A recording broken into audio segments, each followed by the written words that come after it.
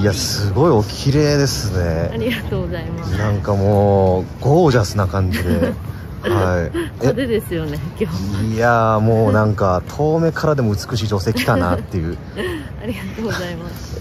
お名前をお伺いしてよろしいでしょうか？あ白浜のぞみと言います。のぞみさん、はい。さあご年齢はおいくつでしょうか？23です。23歳。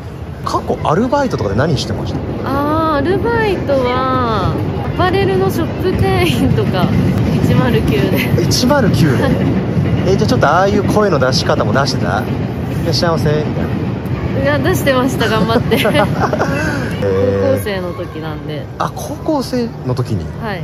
あそそんな時からやってたんですね、はい。ちょっとあれですねあのお洋服を脱がれるとお胸が結構大きいなっていう感じに見えるんですけども、はい。何カップあられるんですか？J カップで。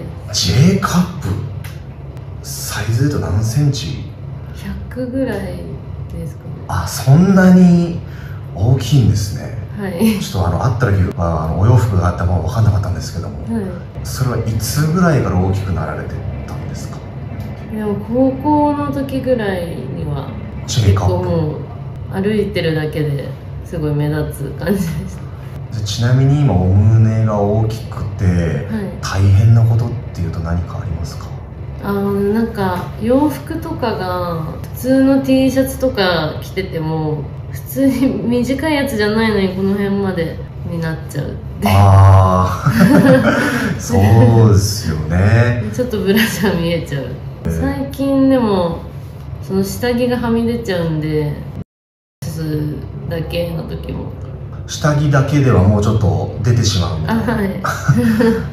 でちょっといきなりこんな質問もあれですけども、はい。最近営まれたっていうのはいつになられるでしょうか？最近は2週間前ぐらいです。その時はどうでした？まあ結構その時も1ヶ月ぶりとかだったんでうん。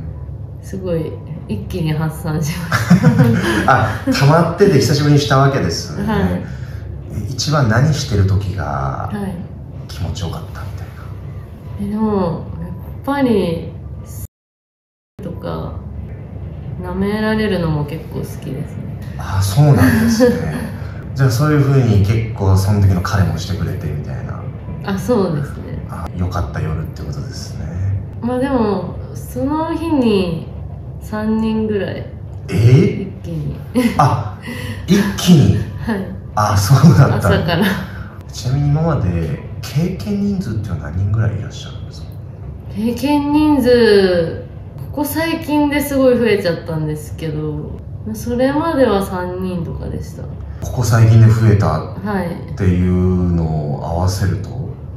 でもここ最近で67人は増えた気がしまそういう行為はお好きですか？すあ大好きで。す大好き、はい。あ私今お好きですかっていう質問に対して大で返してくれるっていう。あそうなんですね。一番何されてる時がいいなっていうか。まあでもやっぱりで入れながら密着してる時。それは何がいいですか？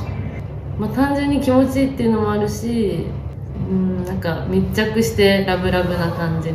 うーんあじゃあその恋人っぽいなんかそういう雰囲気とかもお好きなわけですね。あはい。あじゃあちょっと今まで経験してきた中ではい。一番気持ちよかった夜の体験。うーん。えでも一番結構選べないんですけど毎回気持ちいいんで。あなるほどね。選べないと。変わった場所とかでもいいですしなんか体験でもいいですしトイレとか。うんなんか公衆トイレみたいな。へえ何歳の時ですか？いやそれを二十歳ぐらいの時です。二十歳なってない時ぐらいかもしれない。お相手は？当時の付き合ってた人。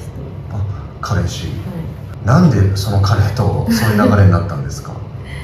い もう場所がなくて。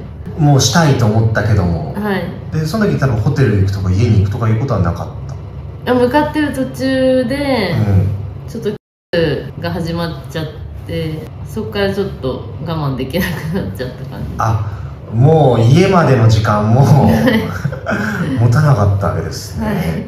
それは一応扉は閉めてでも見えないように。あはい。声が出ちゃったりしなかったんですか？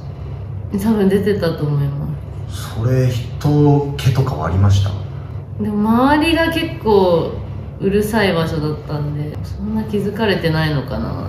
おー。でももし人が入ってきてたらは絶対、えもうまずいですね。声も普通に出してた。はい。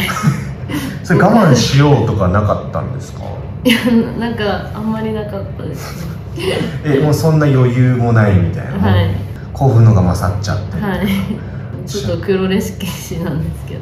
ああまあ今思うとね、もうはい若気の至りというかね、はいじゃあちなみに初体験っていうのは何歳だったんですか？初体験15歳ぐらいだったと思いまそのうち初体験のお相手はす彼氏です。あ彼氏さんと、はいあはい。どうでした、初体験。初体験は意外とあっさり終わりました。気持ちよさを知ったっていうのはいつぐらいですか？いやー気持ちよさ知ったのは34回目ぐらいから。あその彼で。はい。あじゃあそのちょっと後にも気持ちいいなと思い出したんですはい。最初はちょっとなんかあんまよく分かんなくて。うん。ちなみにそのお胸がまあ大きいと思うんですけども、そのベッドの上でお胸を使っていろいろこう相手をご奉仕してあげるみたいなこともある。ああ頼まれたら やります。結構頼んでくる方もいらっしゃる。あー元彼はみんな好きでした 例えばどういうお願いをしてくる？なんか中にちょっと挟んでみたいえそれ言われたらしてあげる。なはい。それだってもう相手のものがもう見えなくなっちゃう。見えなくなりますね。それは合体中もお胸を使った何かとかはある？ああります。合体中はどういう感じで？いやなんか相手の顔がうん隠れちゃうみたいあな顔をうずめるみたいな、張りがある感じですもんねしかもね。はい。大きくて張りがあるってもう最高ですよね。ありがとうございます。あなるほどね。体で一番感じてしまう場所。えー、やっぱあそこの奥。あそうなんですか。えじゃあ好きなものの形は？あでも形は結構普通サイズ的には普通が良くて人によっても結構相性とかで変わるんですけど形っていうよりなんかフィット感みたいなのが大事かもしれない。